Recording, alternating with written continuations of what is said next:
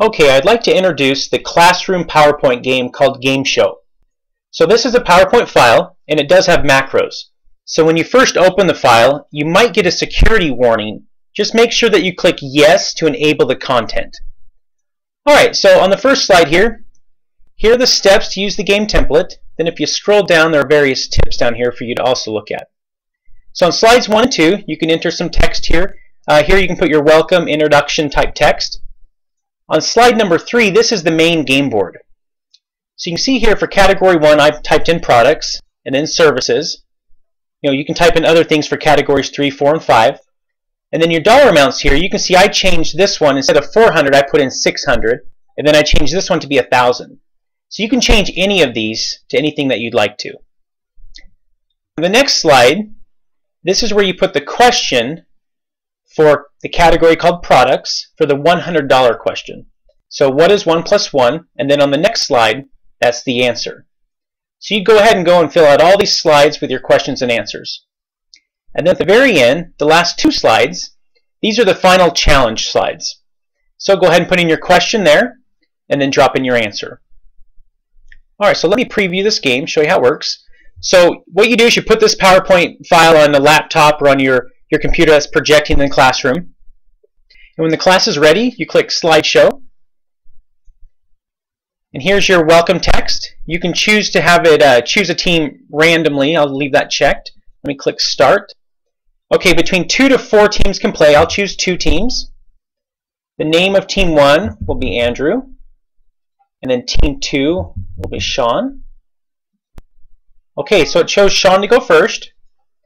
So if I go to products for 100, what is 1 plus 1? You see the timer down here that's going. Now when they're ready, you click continue. And then if team 1 or if team Sean got it correct, you can click correct. If they got incorrect, click incorrect. So let's say correct. You can see that Sean got $100. Now you can see down here, Andrew, it's your turn. All right, so I'm going to choose 1,000. It says, why is the sky blue? Um, Let's see here. My guess is because it was made that way.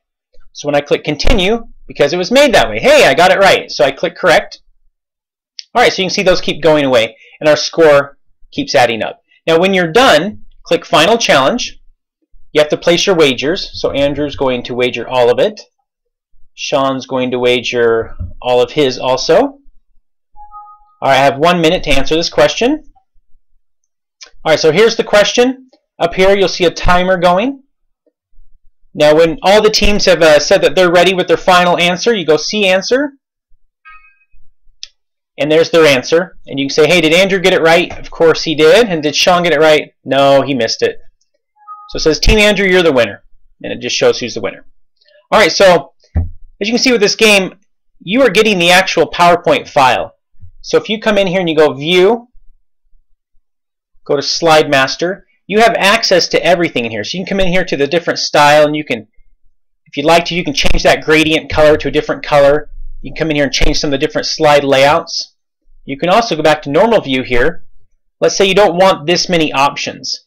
It's as easy as going in here and just deleting out different sections. So if you only want, you know, maybe three of those questions up there, let's just delete those. We'll delete those, and then you can take these, maybe make them a little bit bigger. And this doesn't actually break anything, so you can come in here and say, I'd like those a little bit bigger. Maybe move them down, kind of correct the, the uh, spacing there. Yeah, I think we've got it about right here.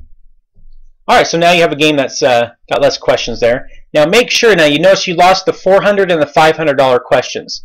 When you come down to those slides here, let's see, there's the, uh, where was it here? So here's the 400 and the $500 questions. Do not delete those slides. If you need to, you can just right click and choose hide, but don't delete those. And one other thing too, when you're filling out your questions and answers, you'll notice that the category is getting pulled through there automatically. So if I go down here to category 3, we haven't actually changed that yet, but once I give category 3 a name, that will automatically update here. So don't change that text either. Alright, so that's the Game Show PowerPoint.